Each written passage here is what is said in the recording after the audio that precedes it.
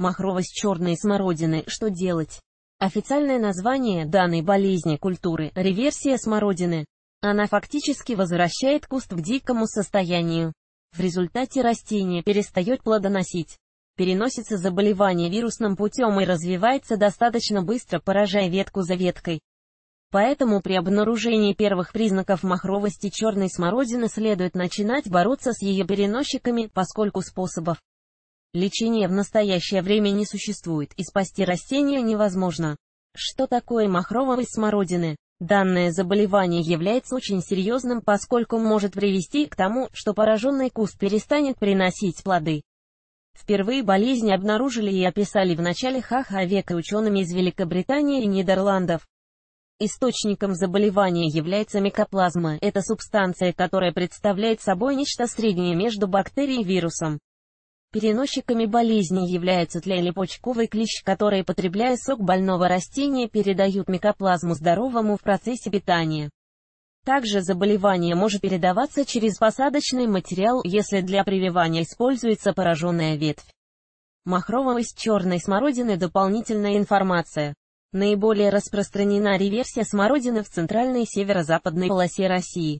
В регионах, расположенных на данных территориях, можно чаще всего наблюдать смородиновые кусты и пораженные растения. Признаки поражения. Махровость смородины можно распознать по следующим симптомам. Листья меняют свою форму, они начинают искривляться, становятся асимметричными и уродливыми. Количество лопастей на каждом листе уменьшается, их становится 3, а не 5, как у здорового растения.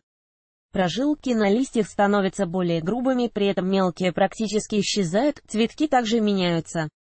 В самом начале болезни их окончания приобретают неестественный ярко-красный оттенок. Цветки, которые распустились также вместо обычных белых становятся красными или фиолетовыми. Каждый лепесток можно отделить от остальных, это тоже признак пораженного цветка.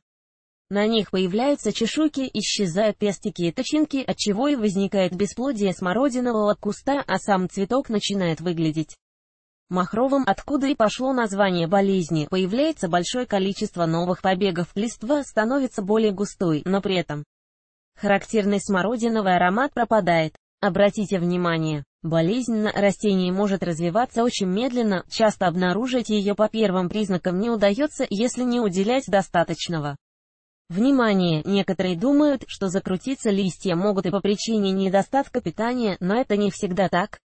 В результате, она постепенно распространяется по всему кусту, и когда признаки становятся очевидными, вылечить растение может оказаться невозможным. Причина появления и распространения. Возбудителем болезни является микоплазма. Она передается от больных растений к здоровым через насекомых, которые мигрируют в весенний период. Основным переносчиком является почковый клещ. После того, как он успешно перезимовал в пораженной почке, он начинает перемещаться по растению в другие почки, что и приводит к их заражению. Миграция клеща, как правило, происходит поздней весной или ранним летом.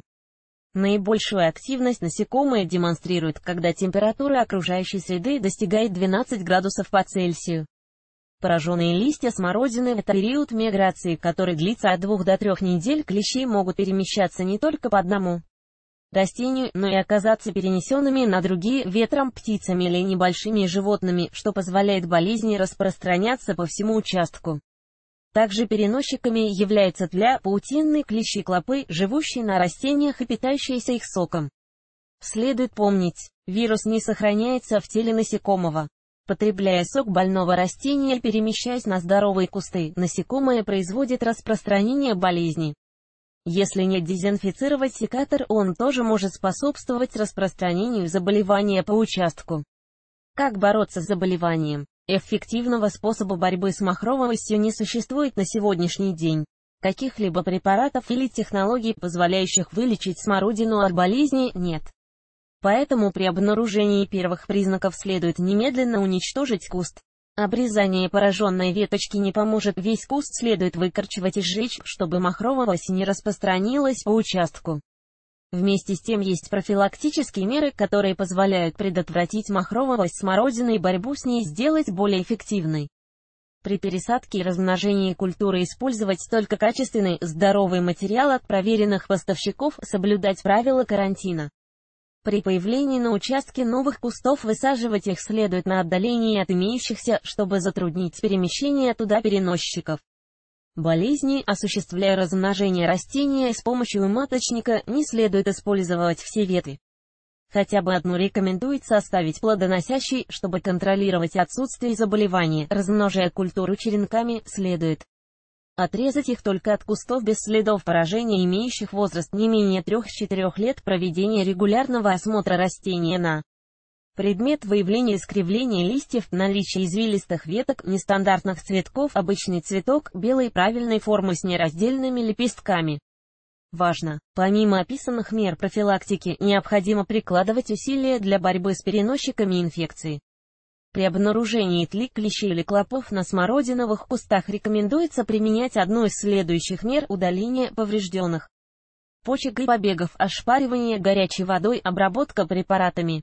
Удаление пораженных почек и веток в обязательном порядке следует осматривать кусты смородины весной. Если на ветвях окажутся неестественно увеличенные почки, то их необходимо сразу удалить, поскольку это признак нахождения в них клещей. Если на одной ветви таких почек значительное количество, рекомендуется ее обрезать полностью. Обрезание кустов черной смородины обливанием горячей водой, данная мера позволяет уничтожить практически всех вредителей, температура должна быть 50-55 градусов по Цельсию, тогда она безопасна для растений и смертельна для тли и клещей. Проводить процедуру рекомендуется ранней весной, пока почки не набухли и кустарник не проснулся. Более поздняя обработка может нанести культуре вред. Обработка химическими препаратами Данный способ борьбы с вредителями следует использовать перед началом их массовой миграции сразу. После окончания цветения смородины, для обработки рекомендуется использовать растворы коллоидной серы, липидоцида или бетоксидоцилина. Также можно применять сильно действующие вещества акарин, фуфанон или фитоверем. Меру для разведения водой необходимо выбирать в соответствии с инструкцией. Повышение иммунитета Обратите внимание, вредители нападают только на слабые растения, поэтому их правильная подкормка, соблюдение рекомендаций в части агротехники, что зачем делать, в какой последовательности позволяет минимизировать риск их поражения. В качестве удобрения следует использовать составы, содержащие калий и фосфор. Данная мера позволяет бороться с причиной, а не следствием, тем более эффективного метода лечения не существует. Советы бывалых садоводов. Причиной, почему листья смородины могут скрутиться, является тля. Чтобы избавиться от нее, следует их для начала оборвать. Когда скручиваются листья у смородины, чем обработать это тоже важный вопрос. Народными средствами являются луковая шелуха, настой и раствор уксуса. Эти вещества обладают сильным запахом и отпугивают насекомых. Также рекомендуется проводить профилактические мероприятия. В частности, сжигать все опавшие листья смородины, проводить регулярное рыхление почвы, уничтожать муравейники около кустарника. Важно. Если же возник вопрос, почему у смородины ветки закручиваются, то, скорее всего, причина в неправильной обрезке или питании. Необходимо подкормить растение, начать формировать крону, произвести рыхление. Если такие меры не помогли, следует его пересадить на другой участок. Если появилась парша на смородине, следует ее оперативно обработать фунгицидами. Данное заболевание поражает листья и снижает иммунитет к другим заболеваниям. Выглядит парша как налет ржавчины на листьях. При обнаружении первых признаков следует сразу обработать куст фунгицидами. В качестве профилактических мероприятий следует постоянно рыхлить почву около кустарника и убирать осенью желтую опавшую листву. Опрыскивание смородины при наличии мха на кустах смородины следует лечить растение, иначе это приведет к замедлению его роста ухудшению. Качество и количество плодов, формированию благоприятной среды для жизни и размножения бактерий-вредителей. Если появился мох на смородине, что делать можно узнать в интернете. Самый распространенный рецепт – обработать кустарник раствором медного купороса. Также можно обработать стволы с помощью раствора из древесной золы, соли и хозяйственного мыла. Итак, одним из самых опасных заболеваний является махровость черной смородины. Что делать в такой ситуации, знают опытные садоводы. Однако следует отметить, что диагностировать болезнь достаточно сложно. Во-первых, как указано в описании, она может 3-4 года развиваться очень медленно.